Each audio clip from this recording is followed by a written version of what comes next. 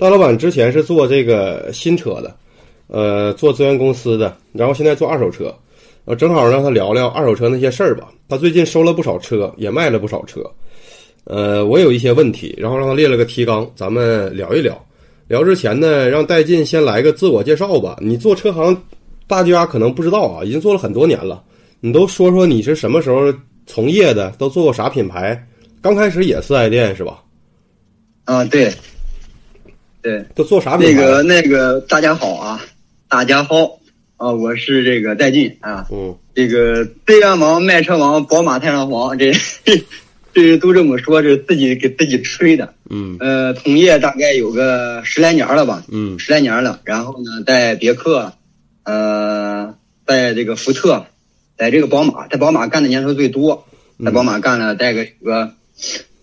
三四年吧，三四年四五年，嗯，然后自己做资源公司，嗯。嗯，回来以后在德州，哎，做了个资源公司。以前那时候是在沈阳，沈阳呢跟着人家别人干，嗯，大客户经理，嗯，跟那个一些领导什么的认识的比较多一些。因为那个时候，呃，华晨宝马的很多的领导还在那个沈阳八宝那边办公，现在那个哪了，都开始大众集团了，所以呢回来认啊，嗯，做这个。你做那个宝马资源大概做了多长时间呢？我一三年，一三年开始做吧，一三年，对，一三年开始做。嗯，一三年从那个沈阳回来，那时候从那边做大客户经理嘛，嗯，大客户经理，然后结婚了以后，你这对吧？你这成天不搁家，是吧？那个啥就回来了。回来以后，其实也找不着啥活干，嗯，干啥活也不能干。嗯，然后想想，哎，这个事觉得可以行，可以操作。毕竟这关系，嗯，都这么熟了，所以就开始做这个。做这个呢以后呢，跟这个 全国的宝马四 S 店啊，帮他们调车，因为每一个区有每个区域的区域差。嗯，一开始帮他们调车，到后来呢，包包含跟这些汽车超市、这些汽贸打交道。嗯，啊，陆陆续续吧，一直做到现在。现在呢，新车确实也不好做，因为那个。现在车价太透明，而且呢，很多四 S 店里压力很大，他给给很多那个客户的价格啊，基本上就是到我们这个价格了，已经。嗯。很多情况下啊，所以说呢，不是太好做了。嗯。然后这一块呢，是现在也在捎带着做。嗯。然后呢，现在主要做呢二手车这一块啊。他这个宝马这个品牌，全国 全国哪个省你不太灵？咱别说哪个省灵了，我感觉好像哪儿都能灵，哪块你不太熟的？嗯，江浙一带，呃，浙江吧，浙江不太灵。嗯，浙江对，浙江跟，其实也就是浙江，江苏苏南也不是太也不是太灵。嗯，苏北可以，啊，然后其他的都都还行吧，都还可以，差不多。反正长春这几个宝马店我都不认识了，你们看你都认识。嗯，长春那个都小儿科了，那些店基本上，他们说白了，现在他们总经理跟我级别都不对等了，都我都不愿意勒他们。现在来，他们跟我军衔不对等。不是，现在来一个新的销售总监，得跟你打听过去的事儿，是吧？呃，是，是是是，你反正东北这块儿吧，基本上就是，嗯，黑吉辽这三个地方吧，是这么个情况。嗯，黑吉辽。那新疆，新疆。因为他被被好多集团都已兼并了，你像那个就是绿园那个，以前他不是那个中康顺集团的嘛，就是那个长春绿地保时，嗯，他以前是康顺集团的，然后现在被那个绿地集团给给兼并了，嗯，他们现在都是集团性质的了，也不是太好弄了。以前 对保时捷，保时捷也卖了，嗯嗯。保时捷卖了好多都卖了，都扛不住了，都赔钱跑路了都。是啊，我看你都都倒腾二手车了，我就知道这个新车肯定是完犊子了。现在好多以前的时候，你以前的宝马是怎么样怎么样的一个模式呢？就是呃，东三省基本上那边是一个区，嗯，东三省就是医疗，包含内蒙吧，嗯，基本上是一个区，他们嘛经常在一起，大家都很熟。那个时候他们经常去北京啊，或者在沈阳开会什么的。嗯，那时候我给那个沈阳那边那个领导吧，打会来事儿啊，对吧？嗯，还给开车给打下手啥的，慢慢都认识了。然后呢，而且呢，你像沈阳啊、长春啊、哈尔滨啊，包含松原、吉林这块的，都是一个集团的。嗯大家一说都认识，都很熟，嗯都能给咱带进几分薄面。嘿嘿，嗯现在不行了，现在该兼并的兼并，该不干的不干，该干啥干啥去了。反正，嗯、有是有数那么几个吧，长春、吉林啊，嗯大众集团还好使，嗯嗯嗯然后绿地集团这边也还行，嗯因为他怎么没怎么换人，嗯然后沈阳也还凑合，嗯，基本上这个情况。咱聊聊二手车吧，你这属于半道出家，二手车。我说你兜里也就是几十万呗，你怎么收这么多车呢？你这个咱先聊聊，你之前给我讲过一回，就如果说咱白手起家，没有太多钱，想干这玩意儿，能不能干？那天节目里边大概说了一下，然后很多听友给我留言、嗯说这个嗯要没钱的话，这玩意儿咋整？你让我具体说，我说让让带进说吧。你先说说你怎么想到干二手车了呢？你是干多长时间到现在？二手车一其实怎么说呢？一以前的时候，他一直就研究这个，就是从你上回说那个瓜子儿那个事儿以后吧，嗯记得你做了瓜子儿那个节目吧？嗯然后我就觉得，哎呦我操！我说这玩意儿跟二手车贩打交道真有意思啊，就天天给他们找抬杠去，找杠眼儿去，嗯我就感觉挺有意思。然后呢，我就就是就是开始研究这个，就我一个朋友在这边开汽修厂的，跟老唐一样，嗯不过没有老唐那规模大呀，他也是专门帮这些这些车贩子倒腾这些事故车什么的。嗯那我就天天没事儿吧，我上他那蹭饭去，嗯哎，我一样我也不带，我上那去看他们怎么修怎么弄。嗯也看这个，哦，感觉还差不多吧。一些，嗯、除非那种特别特别精修的看不出来，剩下的基本上差大差不差。嗯然后这个钱怎么来的呢？其实啊挺简单，撸网贷呗，嗯专专业撸狗子。嗯 然后其实那个钱的话是差不多能，你要如果是卖车卖的好的话，其实能赚的能赚得过来的，嗯。这是其一。嗯，只不过我刚开始是这么弄的。上面如果咱们要做二手车的话呢，呃，哪种车是比较赚钱的，哪种是可能会亏钱的？你大概聊聊吧。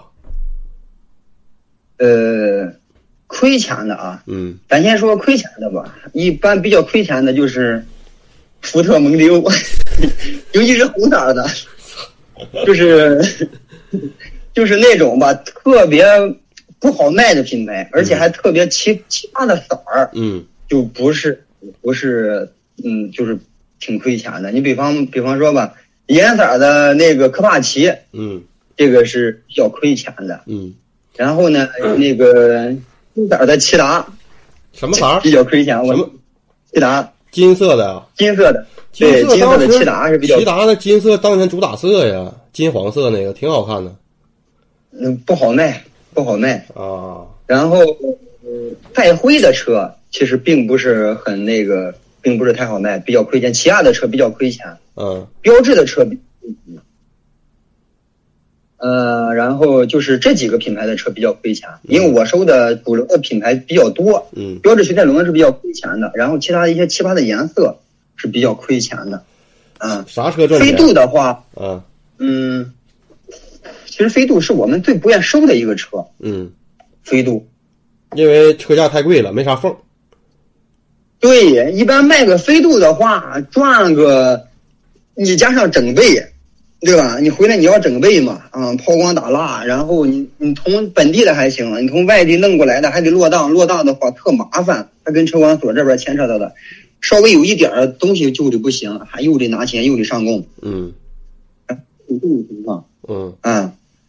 这个一台车吧，呃，咱就打个一六年的车来讲吧，一六年的飞度的话就是八五八的那一款。嗯八八，那个，呃，三年的话，现在能卖的话，还能卖个六万六万多点儿吧，嗯啊，嗯，能卖个六万多点儿，六万一到六万三之间，嗯啊，这种车基本上赚一千多块钱，两千块钱吧，嗯嗯嗯。两千块钱，市场上很少有这种车，正常，我那天聊个节目，不知道你听没听，就是讲二手车的。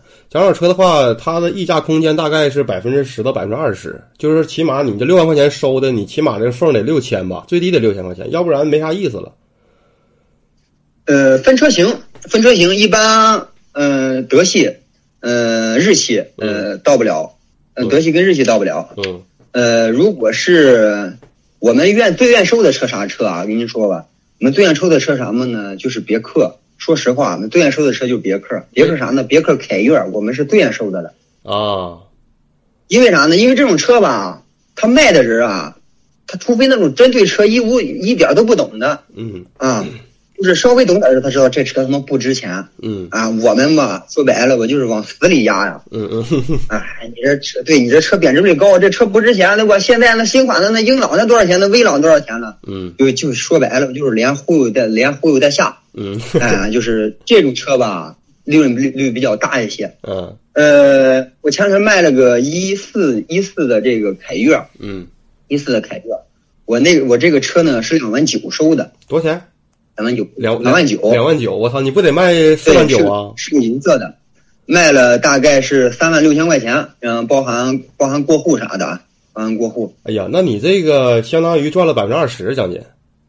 你他这种车他就这样嗯啊，嗯嗯我们是最出这种车，而且呢，你说一个是这些车，一个就是那个那个克鲁兹，嘿嘿，哎，我跟你说，那这两个车是我们那天你听不听我那节目啊？我那个节目说了，嗯去年大数据二手车销量榜排第一位就是克鲁兹。啊，对，我那是是是，你说你你说的那个你那期节目我听了，嗯晚上我一般都睡睡睡觉听嘛，嗯有的时候不不听晚上我已经睡不着还行，嗯然后听听到头最后听到底儿了，听到底儿了，就是很多其实说的就是大数据来讲呢，真的是对的。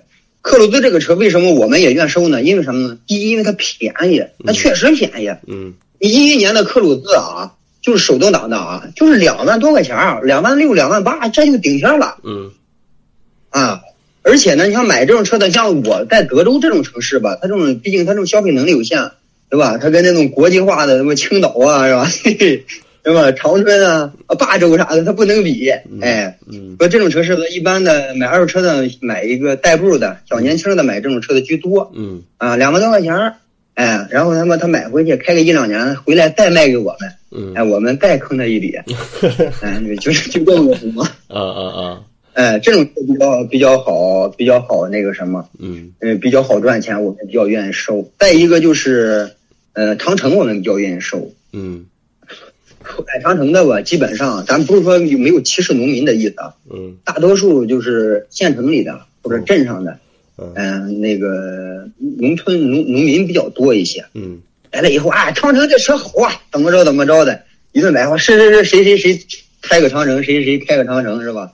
他们对价格吧，其实并不是很敏很敏感的，他嗯不知道这个车大概能多少钱。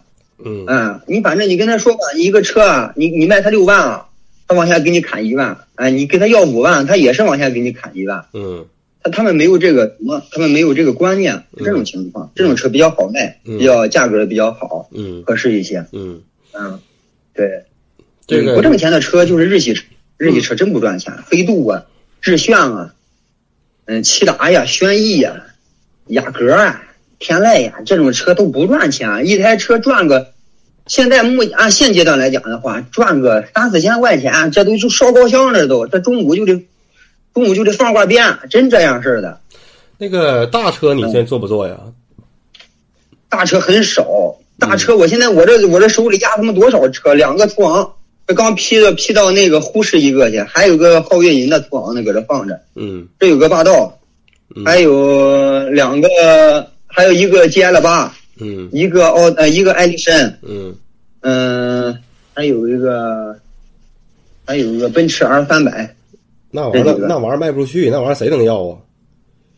对，那玩意儿来掏的，那玩意儿掏一个是一个，嗯，不好掏，主要是现在你那个霸道四千那是二七啊，二七二七反正也行啊，这玩意儿这玩意儿走的那个霸道卖了，那个霸道咱俩咱俩刚才连线之前，我那边他们嗯聊着呢，卖了，嗯，多分期的，多分期的。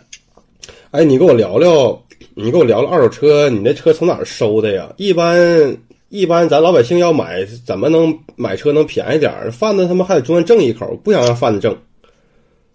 呃，我先跟你说收车，我是我别人别人的渠道我不了解啊，嗯我现在说我的渠道，我大多数的渠道呢就是咱以前的那些宝马四 S 店，嗯呃，我以前宝马四 S 店总经理关系很到位，嗯嗯、他们有的不在宝马了呢，可能去别的品牌，有去沃尔沃的，对吧？有去长安马自达的，嗯有去路虎捷豹的。我主要的渠道就是跟他们，他们的车吧，嗯，收过来以后，二手车经理收过来以后，呃，把给我发过来以后，我一看价格可以合适啊，直接就要过来了。嗯这个东西有一点好是什么呢？就是你不用去验车了，嗯你不用去验车，哎，因为四 S 店说白了，这些总经理啊，大家都认识，圈儿很小的，嗯就是宝马这圈很小，全国加起来就四百来个总经理，嗯一合计，基本上一说都认识，大家经常在一块儿开会嘛，嗯他不会说为了三千五千的去骗你，嗯，这他不至于。一说这他名声就臭了，嗯、所以说这点呢是比较好的。他我一般收车呢是这个主要，他那车不都是应该都是客户置换的车吧？对他们的车百分之百分之九十多都是客户置换的，百分之九十多都是客户置换的。忘死压有。一部分呢是那个，有一部分是那个试乘试驾车或者是厂家活动用车，嗯嗯嗯，嗯，他们行他们这边忘死压客户，那边厂家还有还有返利，还有补贴。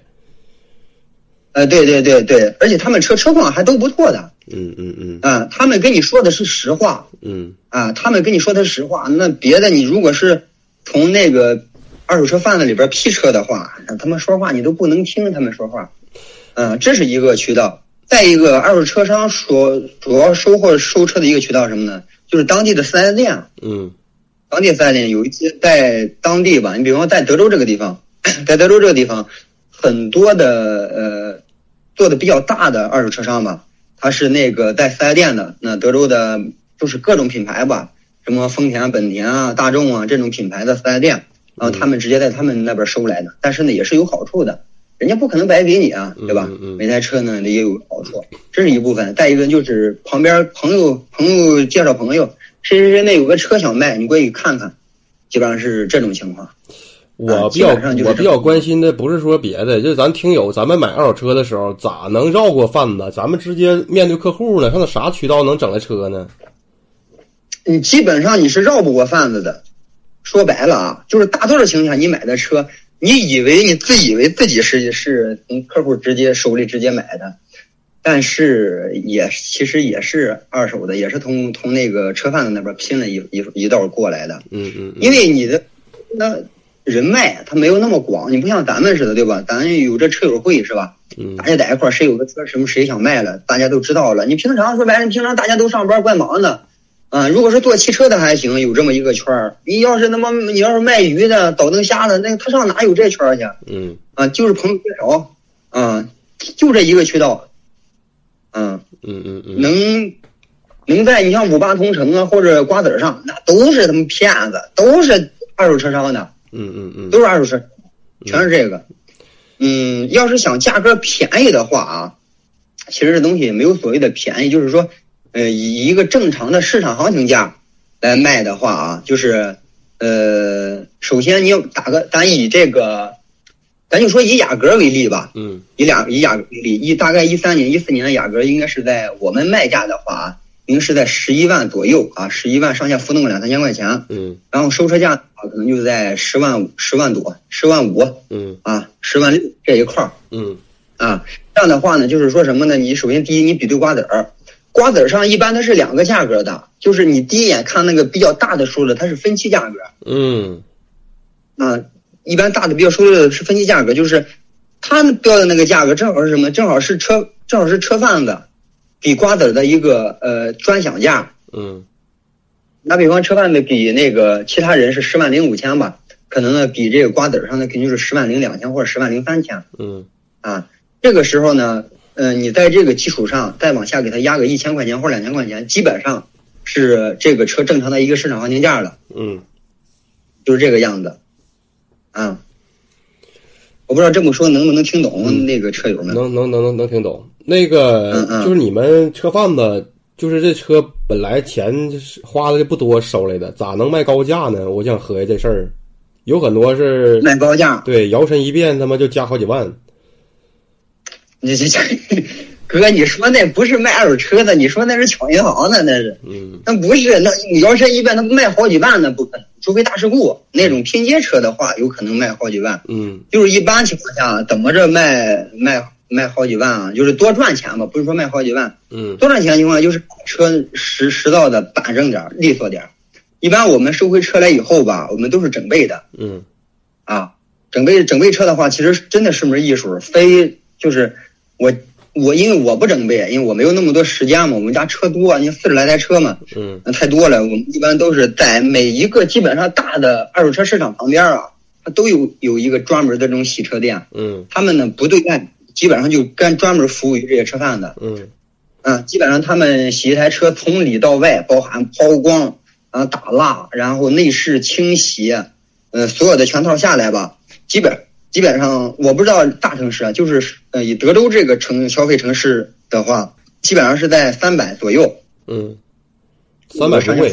三三百不贵，对。这这玩意儿费劲，还得有还得拆座椅呢，座椅得卸下来。呃，对，拆座椅，把那个滑轨里边也给你清洗干净，然后把那个空调出风口里边也给你弄干净，嗯。然后天窗滑轨也都给你刷干净，嗯。轮胎给你卸下来，嗯。里边也都给你弄干净，弄的是非常仔细、非常干净的。嗯嗯嗯、这是一呃，这是一个算是一个途径吧，因为基本上你看到所有的二手车都是这个样子的，你打开以后非常非常的新，非常非常的干净。嗯嗯嗯。这是一个就是能稍微要上点价，多要个多要个一千两千的，嗯。啊、这是其一。呃，嗯。其二的话呢，就是呃，其二基本上就是有一个好的位置，就是一般那个市场里边它都有一些比较中心的位置，中心的位置，然后你如果是装修的比较好的话，那价格是卖的比较比较高的，嗯相比较那偏偏僻的地方能多卖个一千块钱，哎，有啊就这样。个问题啊再一个就调表呗，啊，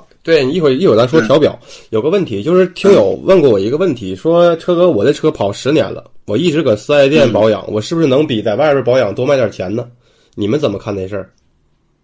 嗯，我们是呃，一般这种就是按照一个正常的车贩子来讲啊，你像我说实话，我不是在这儿吹我自个怎么着，我就算是一个比较正常的车贩子来，那个是一般是能多卖些钱，嗯能多卖个两千块钱吧。嗯就是以什么，就还是以雅阁为例吧，嗯以雅阁为例，嗯、雅阁的话卖两千可能有点少，能多卖个五千来块钱儿，嗯能多卖个五千来块钱儿。嗯因为在四 S 店保养，并不能代表你的车况多好。嗯在四 S 店保养的话，对于我们来讲，它唯一的价值是什么？它对我们来讲，唯一价值就是第一，这个车车况它没调过表，对，那这对我们来讲唯一的一个价值，嗯其他的没有价值。我们收车你无所谓，在哪保养都都一样。嗯我们忽悠客户东西，这东西就是再再一个就是什么呢？忽悠客户的时候说，哎，这个车啊，甭看开十年，哎，都是三店，全程三店质保，你随便查随便整，哎，这个是一是可以的嗯嗯嗯，啊。对，就是卖客户的时候能多卖一些钱，嗯嗯能多卖能多卖个，还是以雅阁为例的话，能多卖个五六千块钱，嗯嗯嗯是正常的，是正常的。嗯嗯啊，嗯，那我们那我们买车的话，咋能买到便宜车呢？还得是我们自己喜欢的，车况还得好点儿的。像我这样人，买个十万块钱车上西藏嘚一圈儿，你你你聊聊这个话题。那你是说怎样自个儿买车买到一个自己喜欢的？完便宜点儿的，嗯，像这种情况下的，首先，嗯、我推荐一个比较怎么说呢，就是呃比较专业的路径嘛，也比较省劲儿的路径。嗯就是一般的，现在很多这个，你像济南啊，嗯，德州没有，济南就是有的，在这个二手车市场旁边，它都会有一间小屋，就是他们帮你代找车的。嗯哎，他帮你代找车，然后呢，你给他个两千，根据车价不同，你比方你如果是要找一个 你们朗逸这个级别的，你可能给个两千块钱，嗯对吧？你给他个两千块钱，让他们帮忙给你找一个车，然后呢，车况什么都都是落实在合同上的嗯啊。那那车况他帮你验啊，公里数啊，包括调表啊，包括事故啊，呃，包括发动机这块状态呢，他都帮你验。嗯他你搞好以后，然后他把车弄回来，啊，然后呢，你再给他钱，是这个样子，或者是他帮你验好了以后，你把钱打给他，他帮你把这个车弄回来，这个是现在目前来讲是特别靠谱的，就是你找一个专业的人来帮你找这个车，你把所有的要求都跟呃约定好，那我怎么能相信这帮人呢？嗯，一般的就是他们，因为他赚你的钱并不多，两三千块钱。啊你就是以朗逸为为例的话，两两三千块钱，嗯嗯，他们给你出具的那个东西吧，是他们都有二手车，有二手车评估师的那个证嗯啊，他倒不会说为了两两三千块钱啊去忽悠你，这倒不至于嗯嗯嗯，啊。那以后这种情况，那以后我再一个另另外一种情，啊，您说。那你是不是也能接这活儿啊？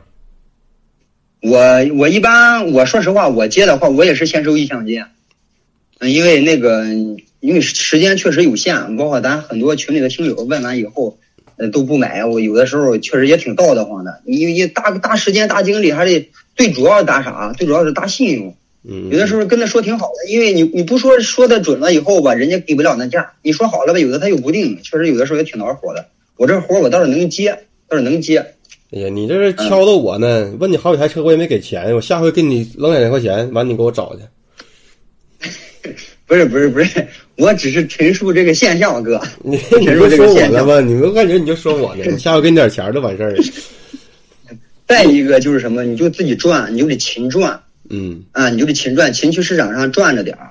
德州的有很多车，就说是什么吧？有很多车呢，它就是到了以后啊，车况好的车一般到了就卖，这个是真话。嗯啊，你像你像飞度的话，为什么市场上没有呢？就是有的时候就是车到了就卖，虽然他赚不着多少钱嘛，说白了，那烫烫腿也是肉啊，赚五百是五百，那总比今天不开张强。嗯嗯嗯啊，然后呢，那就是你自己勤赚，然后呢，在那个那个网上五八同城上瓜子上。勤那个什么的，勤溜着点，勤勤浏览着点就可以了。嗯，那比较有效的途径，比较准成靠谱的途径，就是找这种车商，他给你找车。嗯啊，对。那我就找你吧，下回。嗯，也行，但是先给钱啊，哥。嗯，行，我给你转两千啊。你这个这小白嫖，这哪这哪行啊？嗯嗯，那你下面跟我跟我们聊聊这个鉴别吧，因为你收车，我之前我听你跟我说。鉴别出来好多调表的事故车啥的，这个你有没有啥心得跟我们讲一讲？